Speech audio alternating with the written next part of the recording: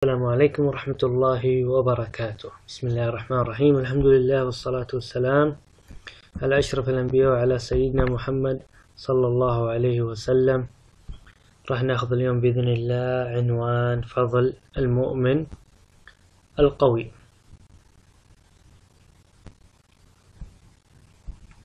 راح ناخذ بعض أهداف الدرس من ضمنها. نتعرف على المؤمن القوي.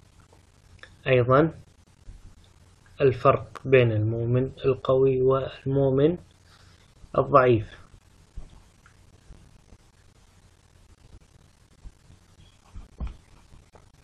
طيب عندنا تمهيد في البداية. عندنا القوة خير من الضعف وجميع الناس يسعون لتحصيل القوة كلنا بحسب اهتماماته. فإذا كان المؤمن قويا في إيمانه وعزيمته فما أثر ذلك في حياته وحياة أمته. أيضا إذا كان المؤمن ضعيفا في إيمانه وعزيمته فما أثر ذلك في حياته وحياة أمته. أيضا أيهما خير المؤمن القوي أم المؤمن الضعيف؟ عند الله سبحانه وتعالى. طيب راح نتعرف على ذلك من خلال الحديث التالي اللي هو حديث أبو هريرة رضي الله عنه. قال الرسول صلى الله عليه وسلم المؤمن القوي خير وأحب إلى الله من المؤمن الضعيف وفي كل خير أحرص على ما ينفعك واستعن بالله ولا تعجز إن أصابك شيء فلا تقل لو أني فعلت كذا وكذا. ولكن قل قدر الله وما شاء فعل. لأن عندنا فإن, فإن لو تفتح ماذا؟ تفتح عمل الشيطان. إذا صاب الشخص المسلم أو المؤمن مصيبة ماذا يقول؟ ها يا عبد العزيز أحسنت. يقول زي ما ذكرت له قدر الله وما شاء فعل لا يتطرق إلى أمور جانبية فيقول لو أني فعلت كذا ما حصل كذا وغير ذلك في هذا الأمر. لابد أن يكون لنا بهذا الأمر قدر الله وما شاء فعل وهو الإيمان بقضاء الله وهو أحد أركان الإيمان الستة. طيب. راح نتطرق له على معاني الحديث. طيب عندنا المعنى الأول المؤمن القوي خير وأحب إلى الله من إيش؟ من المؤمن الضعيف. معناه أي المؤمن القوي في إيمانه وصبره وعزيمته وهو أحب إلى الله من المؤمن الضعيف. إن الله سبحانه وتعالى يحب ماذا؟ اللي هو المؤمن القوي. معنى وفي كل خير أي في كل من المؤمن القوي والضعيف خير. اشتراكهما في الإيمان كلهم مشتركين في الإيمان وعمل الصالحات. وإن كان المؤمن القوي في إيمانه أحسن عبادة وأكثر قربا من الله. معناها أن كلا من المؤمن القوي والضعيف أنهم مشتركين في الإيمان. لكن يرجع على ماذا؟ على قوة الإيمان وعمل الصالحات.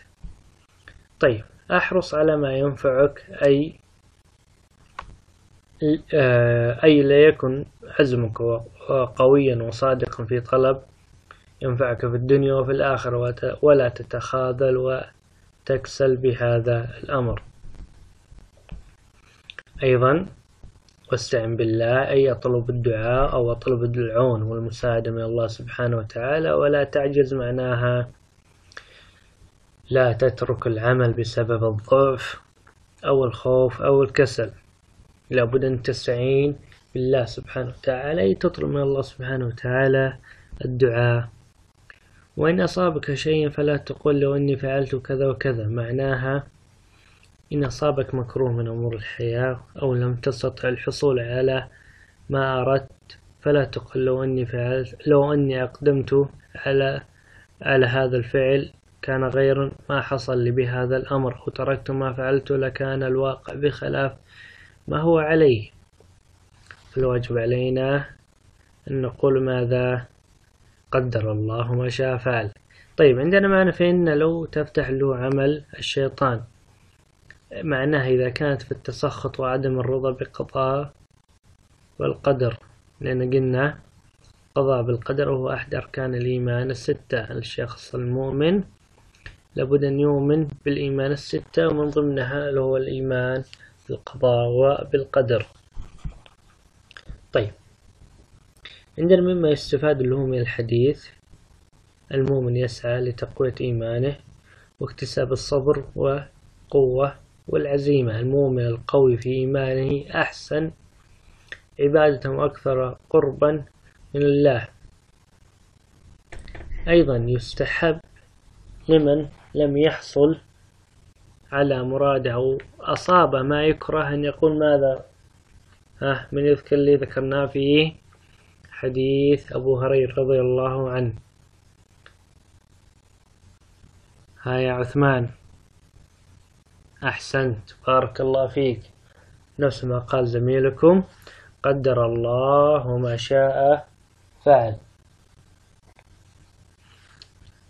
أيضا كنا يكره أن يقول المؤمن عند المصيبة لو أني فعلته لكان ماذا؟ هاي حسن. ذكرناها في الحديث حديث أبو هريرة أحسنت. كذا وكذا. لأن لو تفتح عمل ماذا يا ياسر؟ ها أحمد عندك إجابة أخرى؟ أحسنت لأن قلنا لو تفتح له عمل الشيطان. بارك الله فيك. طيب. نصب آه، آه، عندنا فكر استنبط بعض الوصفات المؤمن القوي في هذا الأمر. مثل القوة الصبر العزيمة الاستعانة الدعاء طلب العون من الله سبحانه وتعالى عدم التخاذل والتكاسل الرضا بقضاء الله وعدم الاعتراض أو التسخط بهذا الأمر. نرضى بما كتبه الله لنا عز وجل في هذا الأمر. وأسعى لتقوية إيماني واكتساب الصبر والقوة والعزيمة لأن هذه من صفات المؤمن القوي. والمؤمن القوي وهو أحب إلى الله من المؤمن الضعيف. طيب نستفيد لهم درس اليوم. المؤمن القوي أي المؤمن القوي في إيمانه واحد اثنين في صبره ثلاثة في عزيمته وغيرها. وأحب إلى الله من ماذا من المؤمن الضعيف. لابد أن نستعين بالله وعدم العجز من صفات المؤمن القوي. نطلب الدعاء وفي هذا الأمر من الله سبحانه وتعالى والعون. من مستحب للمؤمن عند المصيبة أن يقول ماذا ذكرنا في الحديث وذكرها زملائكم أثناء المشاركة بهذا الأمر في الدرس وهي ماذا؟ قدر الله وما شاء فعل طيب عندنا آخر شيء واجب بإذن الله. إن له التقويم. سؤال رقم واحد فقط صفحة أربعين. أتمنى من الجميع حل هذا الواجب. أيضا راح يتم رفع على موقع المدرسة أوراق العمل وبعض الواجبات التي يتم حلها ويتم بإذن الله رصد جميع الدرجات للطلاب الذين شاركوا في هذا الحل. هذا وصلى الله وسلم وبارك على سيدنا محمد عليه الصلاة وأفضل التسليم